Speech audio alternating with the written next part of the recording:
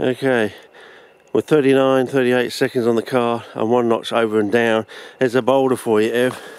Hopefully I'm getting it in true to life colour. Oh, nice. Bracken fern too, so hopefully that's in true to life colour. Okay, I'm just heading back to the dam. I think I'm going to make an attempt to go up the, well, just to see if I can see what we see on Google Maps and then I'll hopefully go up there and come down through some like forest area, nice glady forest area, out to the Hookery Eyes. That's that was the plan, and I think that's the only way I can go without wellies today. So you know.